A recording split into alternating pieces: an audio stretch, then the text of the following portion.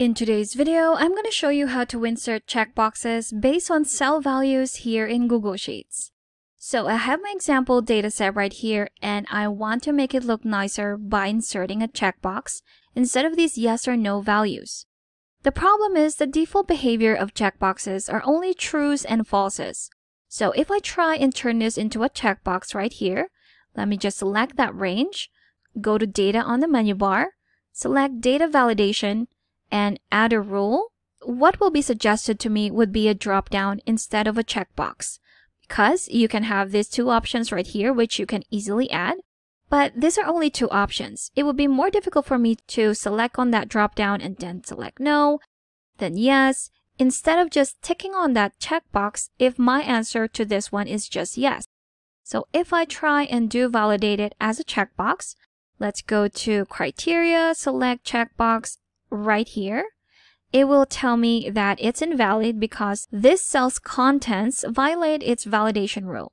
Because again, the default behavior for checkboxes are only trues and false. But if we check on this checkbox right here where it says use custom cell values, it will now enable us to put in our own values in response to a checkbox and an unchecked box. So for checked, we have true. Instead of true, we're going to put in yes right there and you'll see right away that the yeses in my data have already turned into checked boxes. Next one, if we put in no right here, you'll see that those no's have turned into unticked or unchecked boxes.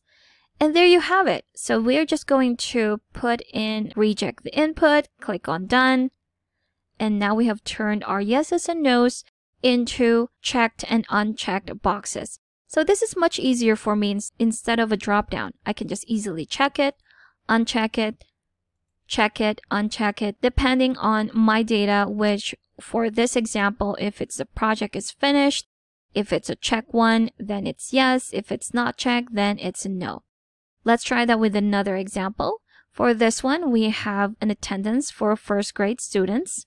And we're going to do the same thing. We're going to turn in this present and absent attendance into a checkbox, which would again make it easier for us to just tick and untick those boxes to represent the attendance. If the student was just in, it's a check mark. If he was absent, then no check mark.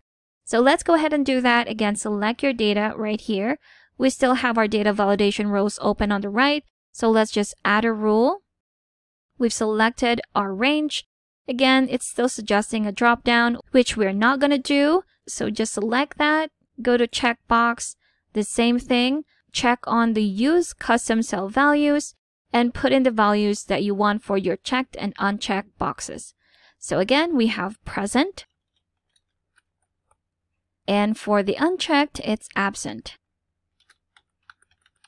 And there you have it. We have turned our values into checkboxes by using the custom cell values here in our data validation. Select reject the input and click on done. And there you have it.